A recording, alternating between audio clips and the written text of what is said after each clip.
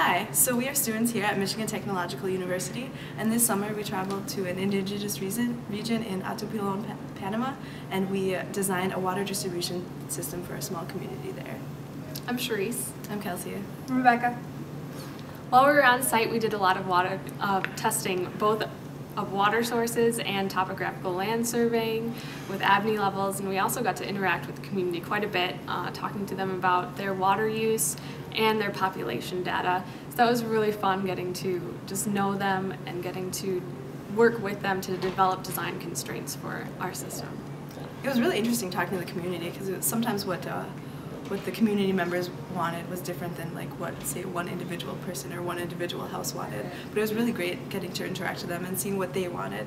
Um, and then bring, using that information that we got from the community, we were able to bring that back to school and then we had all of our data and we were able to work on this design over the semester and kind of, you know, figure out what would work best for the community. And we decided that, the, that a water distribution system would be feasible for this community it was quite the experience to to go there kind of blind and and have to you know assess all the data you have to collect and then like you know knock it out and then get back and kind of sift through your papers and and sort through your photos and and you realize oh we should have and you realize oh look at this and and it was it was uh, it was quite the learning experience yeah, overall it was an amazing experience. And you really get to see how, you know, another part of the world lives and you kind of get to see how you can apply the knowledge that you've learned here at school, you know, to other areas of the world and it was really amazing. I'd say that Michigan Tech has given, it, there are innumerable opportunities here, um, both locally but also I feel internationally.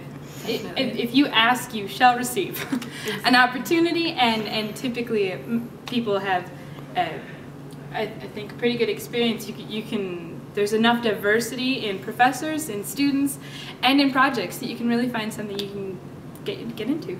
And with the international work, I mean, even when we were traveling for international senior design, we were working with people from Michigan Tech in the Peace Corps who were doing master's international programs. So that was very interesting, but also provides a great opportunity. And senior design, being an international senior design, might provide a good introduction to what it would be like to be in the Peace Corps. You get kind of a weak glimpse of their lives. I feel like no matter what it is that you that you're interested in when you come to Michigan Tech, you could always find a, some a group that has that niche that you're into, whether it's building a concrete canoe or you know doing audio production or you know going to different countries and yeah. doing different design experiences. But there's endless opportunities here at Tech.